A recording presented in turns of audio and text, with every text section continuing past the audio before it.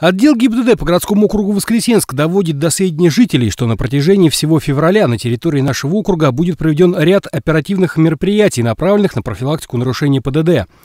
Так, в период с 1 по 28 февраля будет проводиться рейд «Детское кресло», в рамках которого инспекторы будут проверять правила перевозки детей. 11 февраля на улице Куйбышева и 25 февраля на улице Андреса будут проведены уже массовые проверки водителей. В тот же период на территории нашего городского округа будет проводиться оперативно-профилактическое мероприятие «Нетрезвый водитель».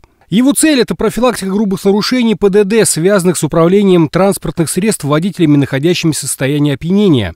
А тотальные проверки будут проведены 6 февраля на улице Гиганта, 13 февраля на улице Кирова, 20 февраля на улице Рудничной и 27 февраля на улице Калинина.